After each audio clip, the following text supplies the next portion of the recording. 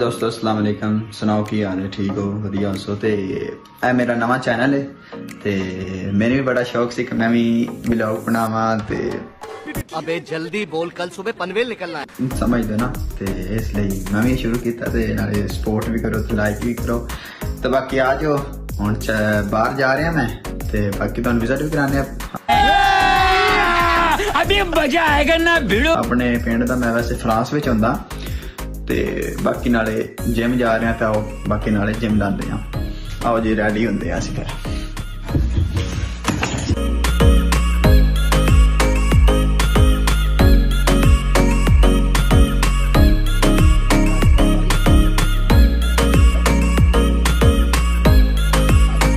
ਚਲੋ ਜੀ ਥੋੜਾ ਰੋਸ਼ਨੀ ਜ਼ਿਆਦਾ ਹੈ ਤੇ ਇਸ ਲਈ ਥੋੜਾ ਧੁੰਦਲਾ ਕੰਮ ਹੋ ਰਿਹਾ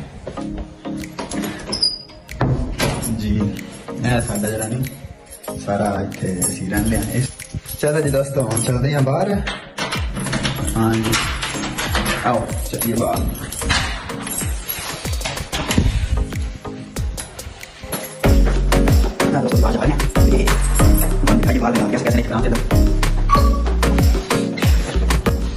ਆ ਦੋਸਤੋ ਸਾਡਾ ਜਿਹੜਾ ਨਾ ਘਰ ਤੇ ਬਾਕੀ ਤੁਹਾਨੂੰ ਪਿੱਛੋਂ ਵੀ ਵਿਜ਼ਿਟ ਕਰਵਾ ਦਿੰਦੇ ਆ ਉਹ ਬੈਲੇ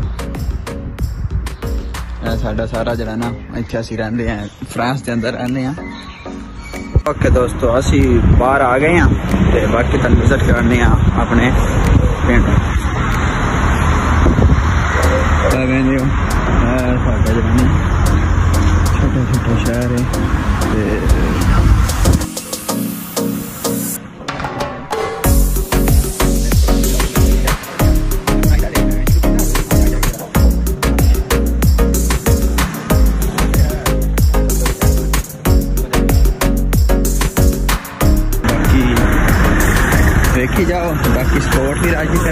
ਲਾਈਕ ਤੇ ਸਬਸਕ੍ਰਾਈਬ ਵੀ ਜ਼ਰੂਰ ਕਰਨਾ ਜਿਹੜਾ ਨਾ। ਤੁਹਾਨੂੰ ਪਤਾ ਹੈ, ਕੰਮ ਖਰਾਬ ਹੋ ਜਾਂਦਾ ਨਾ ਕਰਕੇ ਨਾ। ਠੀਕ ਹੈ। ਇਹ ਲਾਜ਼ਮੀ ਕਰਨਾ ਕੰਮ। ਬਾਕੀ ਸਾਡਾ ਪਿੰਡ ਜਿਹੜਾ ਨਾ, ਛੋਟਾ ਜਿਹਾ ਹੀ ਹੈ, ਨਾ ਵੱਡਾ ਨਹੀਂ ਹੈ। ਤੁਸੀਂ ਦੇਖ ਵੀ ਸਕਦੇ ਹੋ। ਤੇ ਬਾਕੀ ਤੁਹਾਨੂੰ ਥੋੜੀ ਦੇਰ ਬਾਅਦ ਫੇਰ ਮਿਲਦੇ ਹਾਂ। ਤੇ ਅੱਲਾ ਦੇ ਵਾਲੇ ਲੋ ਜੀ ਦੋਸਤੋ, ਅਸੀਂ ਹੁਣ ਜਿਮ ਦੇ ਬੂਹੇ ਆ ਗਏ ਹਾਂ। ਤੇ ਬਾਕੀ ਹੁਣ ਅੰਦਰ ਚੱਲਦੇ ਹਾਂ। ਫਿਰ ਦੇਖੋ ਕੀ ਬਣਦਾ ਹੈ।